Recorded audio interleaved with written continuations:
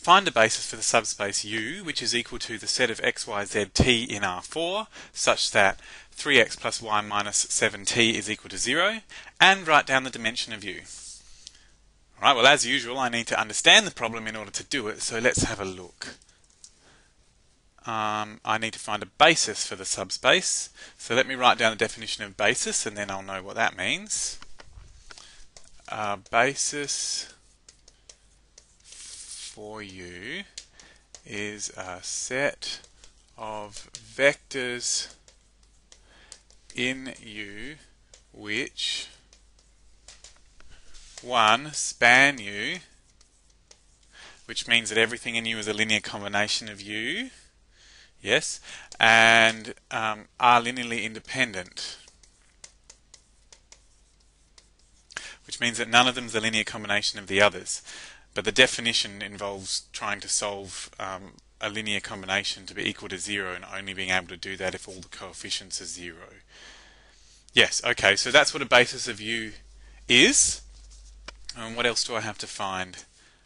Uh, I need the dimension of U, so the definition of that would be the number of vectors in a basis.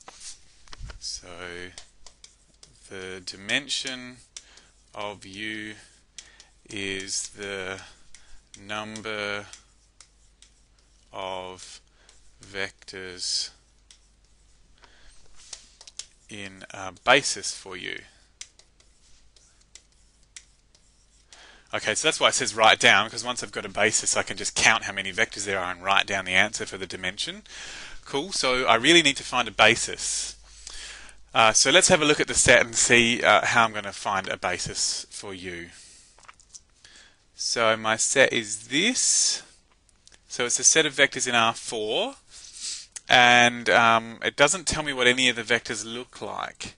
It does tell me a rule for deciding if a vector is in the set, this rule here.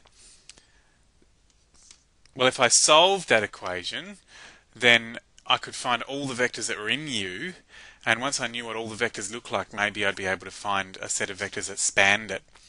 Um, normally, if I had several equations, I'd stick them in a matrix to find the solutions. But I've only got one equation. I don't see why I can't still put it in a matrix. The matrix is only going to have one row, but you know that's really going to be okay. I won't have to do many row operations. So let's try that. So we're going to solve 3x plus y minus 7t is equal to 0. So if I put that in a matrix, I'd have 3 for x, 1 for y. Uh, my original set had a z in it, didn't it? So no z's and minus 7 t's, and the answer is 0. And that's my whole matrix. So what I'd be wanting to do is I want to be row reducing to get as many columns of the identity matrix as possible. But I've only got one row, so my columns are only going to have one number in them. What's the identity when you've only got one I suppose it'd just be the number one.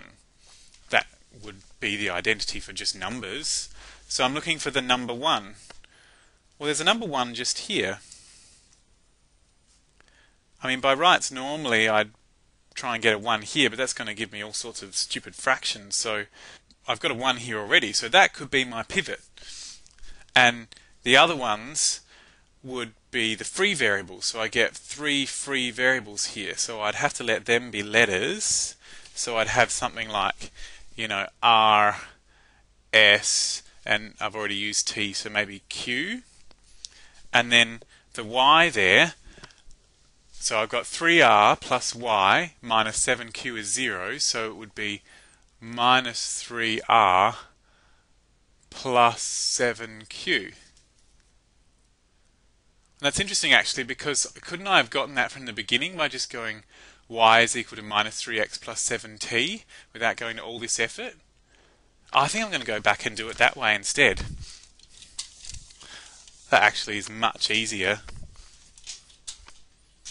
So let's see. y is equal to minus 3x plus 7t. So I can get rid of the y and substitute that back into my x, y, z, t. So x, y, z, t is equal to x minus 3x plus 7t z t. Okay, so normally if I had free variables at this stage, which I kind of have, I'd be able to split it up into a vector for each free variable. So one vector with all the x's, one vector with all the z's, one vector with all the t's. So let's do that. So pull an x out the front of the vector with all the x's. So my first coordinate has 1x, my second coordinate has minus 3x's, third coordinate no x's, fourth coordinate no x's. Okay, uh, I've already got rid of y, so that leaves z. So no z's, no z's, one z, no z. Okay, and t, no t's, seven t's, no t's, one t. Okay, so what I've managed to do is I've managed to write all the vectors that are in U, so all my x, y, z, t's, as a linear combination of 1 minus 3, 0, 0, 0, 0, 1, 0, and 0, 7, 0, 1. So they'd be a basis because they certainly span U, because spanning U means I can write everything as U as a linear combination of them, and I've done that. To make them a basis, what I'd need to do is be sure that they're linearly independent. So linearly independent would mean that none is a combination of the others. Okay, well this one can't be a combination of that one because there's a 1 here and there's a 0 here. So I can't do any multiple of this to produce a 1 in this spot here. And this one last one, it can't be a linear combination of the other two because there's a 1 here and there's zeros in these positions.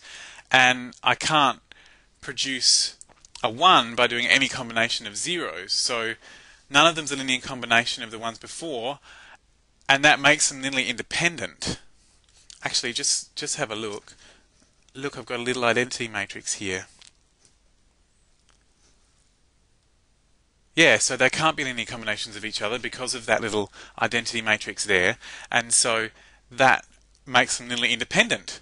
In fact, if I actually think about it a little, anything that I do this way is guaranteed to be linearly independent because I've got a 1 for each of the free variables and zeros in the other vectors because they don't have those free variables.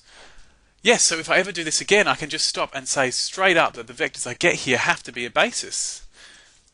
Alright, well I might as well finish the question now.